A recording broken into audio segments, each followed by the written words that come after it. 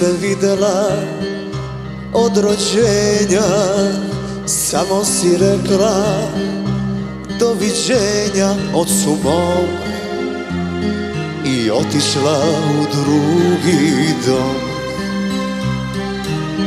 Ja neću reći da kriva ti si Možda se s ocem slagala nisi Kaješ se znam Možda si s drugim sreću pronašla.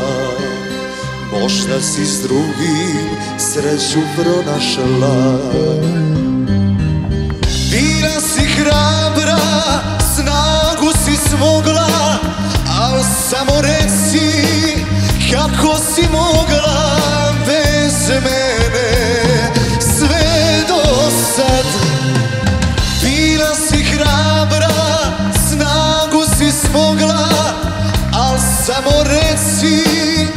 kako si mogla da me ne vidiš.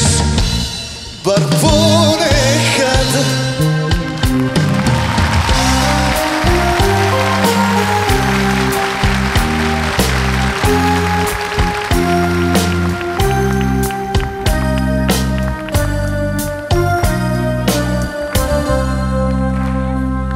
Znam da je otac priča za sebe Često je pijan Psovao tebe Čuo sam ja.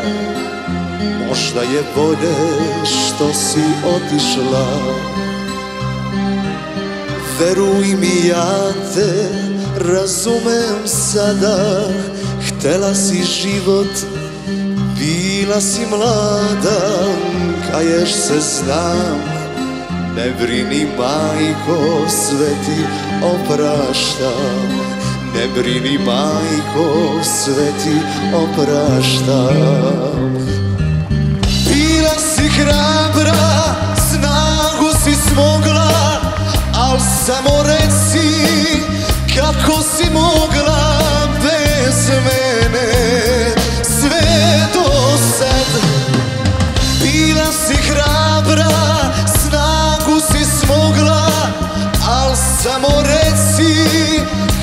kako si mogla da me ne vidiš Bar ponekad